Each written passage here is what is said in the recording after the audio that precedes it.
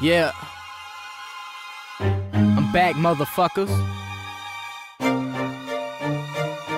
Turning dreams into reality, bending rules just to have the ability to say just what I feel. Cause when it comes down to the nitty gritty, just know that I will keep the same. No money can change just how I feel. Starting out with nothing but words, had to work to be heard, and it works, so I'm here. The set prerogative is clear.